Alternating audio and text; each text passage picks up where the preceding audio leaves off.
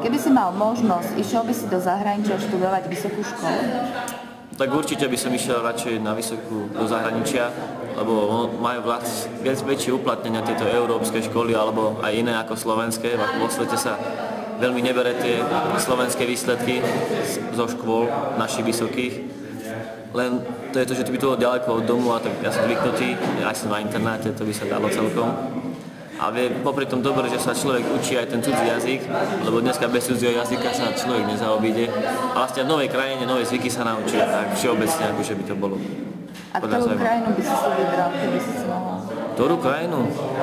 Hmm, vybral by som si Rakúsko alebo Švajčiarsko, len za Nemčinou máš druhý jazyk, tak by to bolo zaujímavé, že ako by som to tam zvládal.